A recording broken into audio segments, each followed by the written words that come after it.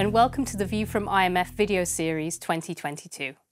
I'm Marie Kemplay, the Banker's Investment Banking and Capital Markets Editor, and I'm pleased to be joined by Tim Adams, President and CEO of the Institute of International Finance. Thanks for joining us, Tim. Marie, it's a pleasure to be here as always. Great to see you. Thanks for having me. Thanks, Tim. Firstly, there is clearly considerable uncertainty within the global economy at present. What do you believe should be the biggest priorities for policymakers, bankers, and regulators in responding to these challenges? The question is where do you start? Obviously, we're all preparing for what is uh, uh an impending set of dire economic conditions. Uh, the Chinese economy is going to grow at its slowest pace since 1976. Europe is uh, is heading for a, a, tough recession, I think, this winter. The UK is facing some challenges as well, potentially a recession. Uh, and the U.S., I think, will certainly slow down, maybe a soft landing at best. So the many of the advanced economies, including the real driver of growth, China, is signaling very tough times, economic times ahead, at a time when central banks are withdrawing credit and raising rates at a time when we're at the end of a 10 year debt cycle, at the time when uh, energy prices and food prices are hovering around high levels. Uh, and with the dollar being what it is and 80% of commodities priced in, in dollars, a lot of uh, importers of food and energies, developing countries, emerging markets, going to have a very tough uh, winter in, potentially 2023. So a lot, a lot to worry about. The net zero transition and ramping up of sustainable finance activity is, of course, one of the key discussion areas for these meetings.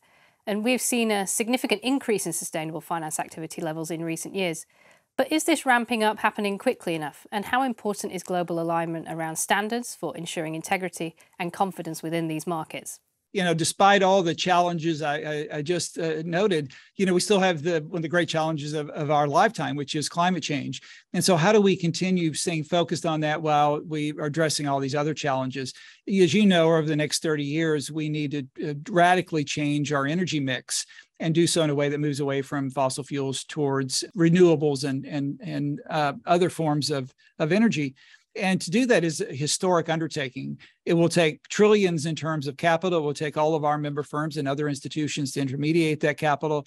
And it really is probably the most uh, historic engineering undertaking in human history.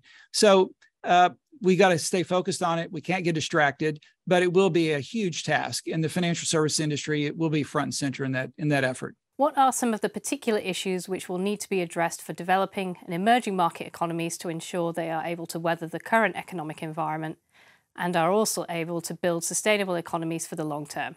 They, the developing emerging economies, will need hundreds of billions in capital uh, to make the transition, both in terms of a different uh, fuel mix, a different energy mix, but also in terms of greater resiliency uh, and so they will need capital, uh, both public and private capital, and hopefully public capital we can deploy in a way that catalyzes private capital at the same time that many of these countries are already, you know, highly indebted.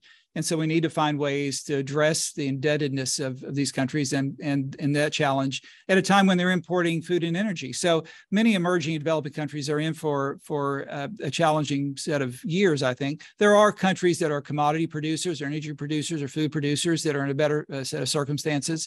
But we need to keep all of these factors uh, in mind. And back to your uh, earlier point, the industry that I represent uh, will be integral in intermediating these billions, if not trillions, in capital uh, for these very, very topics.